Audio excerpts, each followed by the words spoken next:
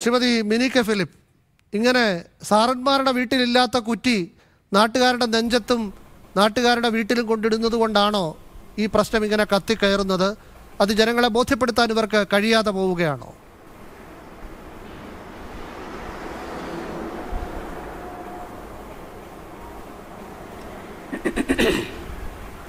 എത്ര വ്യക്തമായ ഭാഷയിലാണ് സ്ത്രീകളടക്കമുള്ള ആളുകൾ സംസാരിക്കുന്നത്.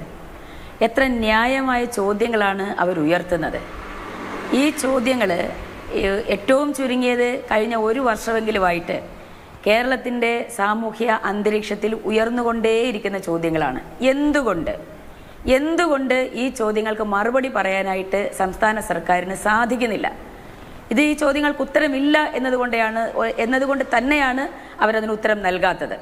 ജനങ്ങളെ ബോധ്യപ്പെടുത്താൻ ഉദ്ദേശിക്കുന്നില്ല. ജനങ്ങൾ ചോദിക്കുന്ന ചോദ്യങ്ങൾ ഏറ്റവും ന്യായമാണ്. അതിന് ഉത്തരവില്ല ഗവൺമെന്റിനെ സംബന്ധിച്ചിടത്തോളം. ഉത്തരവില്ലാത്തടത്ത് അവരെന്ത് ചെയ്യുന്നു? നൂറ് കണക്കിന് പോലീസിനെ അണിനിരത്തിക്കൊണ്ട് ബലപ്രയോഗത്തിലൂടെ നടപടി നീക്കാം എന്നവർ ഉദ്ദേശിക്കുന്നു അത് കേരളത്തെ സംബന്ധിച്ച് ഒരു കാരണവശാലും നടക്കില്ല എന്നുള്ളതാണ് തിരുവനന്തപുരം മുതൽ കാസർഗോഡ് വരെ. എല്ലാ ജില്ലയിലും കേരളയിൽ സിൽവർ ലൈൻ വിരുദ്ധ ജനകീയ സമിതിയിൽ അണിനിരന്നുകൊണ്ട് കേരളത്തിലെ ജനങ്ങൾ ഇതിനകം പറയാൻ ശ്രമിച്ചിട്ടുള്ളത്. ഇന്നലെ മാടപ്പള്ളിയിലെ സംഭവങ്ങളുടെ തുടർച്ചയായിട്ട് ഇന്നും ചങ്ങനാശ്ശേരിയിലെ സംഭവങ്ങൾ ഉണ്ടായിട്ടുണ്ട്. അത് അറിയാം. എല്ലാവരും മനസ്സിലാക്കുന്നുണ്ട് എന്ന് ഞാൻ പ്രതീക്ഷിക്കുന്നു.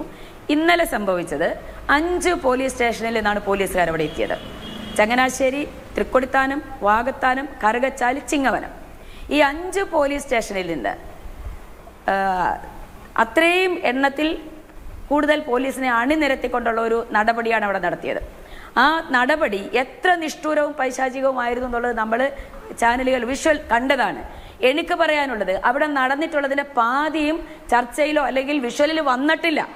എയറിൽ വന്നിട്ടില്ല. ആളുകൾ കണ്ടിട്ടില്ല.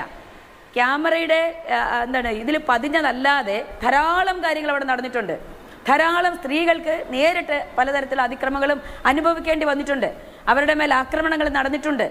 എന്ന് തന്നെയല്ല ഞാൻ ഇന്ന് തിരിച്ചവിടെ ചെല്ലുമ്പോഴാണ് സ്ത്രീകൾ പലരും പറഞ്ഞത് ശാരീരികമായി എങ്ങനെയാണ് കൈകാര്യം ചെയ്തതെന്നുള്ളത് നിങ്ങൾ കണ്ടല്ലോ കണ്ടുകൊണ്ടിരുന്ന കാര്യമല്ലേ അതിനും പുറമെ സ്ഥലം ഡി വൈ എസ് പി അവിടെ എന്നെയൊക്കെ അറസ്റ്റ് ചെയ്ത് മാറ്റിയതിന് ശേഷം സ്ഥലം ഡി വൈ എസ് പി അവിടെ കൂടിയ സ്ത്രീകളോട് ചോദിച്ചത് നിനക്കൊന്നും വീട്ടിൽ ചോദിക്കാനും പറയാനും ആരുമില്ലേ? നിനക്കൊന്നും വീട്ടിൽ പണിയൊന്നുമില്ലേ?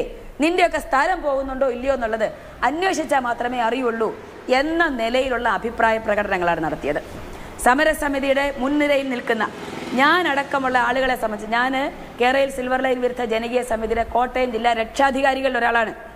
ഞാൻ അടക്കമുള്ള ആളുകളെ കുറിച്ച് അങ്ങേയറ്റ മോശമായ അഭിപ്രായ പ്രകടനങ്ങളാണ് അവിടെ കൂടി നിന്ന ബാക്കിയുള്ള ആളുകളെ സംബന്ധിച്ചിടത്തോളം അവരോട് മുന്നിൽ പറഞ്ഞത്. എന്തിനാണ് ഇങ്ങനെ കൈകാര്യം ചെയ്യുന്നത്? അതിന്റെ ഉദ്ദേശം എന്താണ്? ഞാൻ ഇന്നലെയും ചർച്ചയിൽ പറഞ്ഞതാണ് സിന്ധു ജെയിംസിനെ. സിന്ധു ജെയിംസിനെതിരെ ഇതേ ചോദ്യം ഇതേ ചോദ്യമാണ് ഉന്നയിച്ചത്. നിനക്കൊന്നും വീട്ടിൽ പണിയൊന്നുമില്ല എന്ന് വേറെ. ഇത് ഒട്ടും ജനാധിപത്യപരമായ ഒരു സമീപനമല്ല എന്ന് പറയാൻ ഞാൻ ആഗ്രഹിക്കുന്നത്. ഏറ്റവും മിതവായ ഒരു ഭാഷയിൽ ഞാൻ കാര്യം വ്യക്തമാക്കാൻ ആഗ്രഹിക്കുകയാണ് ചെയ്യുന്നത്. ഇങ്ങനെയാണോ സംസാരിക്കേണ്ടത്? അധികാര സ്ഥാനങ്ങളിരിക്കുന്ന ഒരാൾ നമ്മൾ ജനാധിപത്യ ഒരു ഒരു സംവിധാനത്തിലല്ലേ കഴിയുന്നത്? സ്ത്രീ ആയാലും പുരുഷനായാലും പ്രായപൂർത്തിയായി കഴിഞ്ഞാൽ അവനവന്റെ കാര്യങ്ങൾ നിർണയിക്കാനും തീരുമാനിക്കാനും എന്ത് ചെയ്യണമെന്ന് തീരുമാനിക്കാനുമുള്ള അവകാശം നമുക്കില്ലേ? അതോ സ്ത്രീകൾക്ക് അതില്ലേ അങ്ങനെയാണ് ഉദ്യോഗസ്ഥന്മാർ വിചാരിച്ചിരിക്കുന്നത്. ആ നിലയിലാണ് ഒരു സമീപനം അധികാര സ്ഥാനങ്ങൾ ഇരിക്കുന്നത് ഇരിക്കുന്നവരെടുക്കുന്നത്. അതൊരു കാരണവശാലും നമുക്ക് അനുവദിക്കാൻ പറ്റുന്ന ഒരു സംഗതിയല്ല. കേരളത്തിലെ സ്ത്രീകൾ ഈ ഉയർത്തുന്ന ചോദ്യങ്ങൾക്ക് മറുപടിയുണ്ടോ? എത്ര ന്യായമായ ചോദ്യങ്ങളാണ് അവർ ഉയർത്തുന്നത്? എന്തുകൊണ്ട് അതിന് മറുപടിയില്ല? ഇതേ ചോദ്യം. ഈ ഇപ്പോൾ പ്രിയയായാലും പിന്നെ മരിയാബു ആയാലും നമ്മൾ ഈ വിഷ്വലിൽ കണ്ട ആളുകളായാലും ജിജി ആയാലും നിങ്ങളൊന്ന് മാടപ്പള്ളിക്ക് വരൂ. ആ സ്ത്രീകളോട് സംസാരിക്കൂ. അവരായാലും ഉയർത്തുന്നത് കേരളത്തിൽ ഇന്ന് സമരരംഗത്ത് അണിനിരന്നിരിക്കുന്ന വീട്ടമ്മമാരുടെ ഏറ്റവും ന്യായമായ ആശങ്കകളാണ് അവർ ഉയർത്തിക്കൊണ്ടിരിക്കുന്നത്. അപ്പൊ ഗവൺമെന്റിനെ സംബന്ധിച്ച് ഇപ്പൊ ചെയ്യേണ്ടുന്നത് അതായത് സ്ത്രീകൾ ഉയർത്തുന്നു എന്നുള്ളതുകൊണ്ട് മാത്രമല്ല ഇത് സ്ഥലം ഒഴിഞ്ഞു കൊടുക്കേണ്ടത് വീട് ഒഴിഞ്ഞു കൊടുക്കേണ്ടി വരുന്ന ആളുകളുടെ മാത്രം പ്രശ്നമല്ല എന്നുള്ളത് ഇതിനകം തെളിയിക്കപ്പെട്ടൊരു കാര്യമാണ്. കേരളത്തിന്റെ പരിസ്ഥിതിക്കുണ്ടാകുന്ന നാശം കേരളത്തിന്റെ ജൈവ വൈവിധ്യങ്ങൾക്കുണ്ടാകുന്ന നാശം. കേരളം അകപ്പെടാൻ പോകുന്ന വലിയ ഫിലിപ്പ്. അങ്ങനെയുള്ള ധാരാളം പ്രശ്നങ്ങൾ ഇതിന്റെ പിന്നിലുണ്ട്.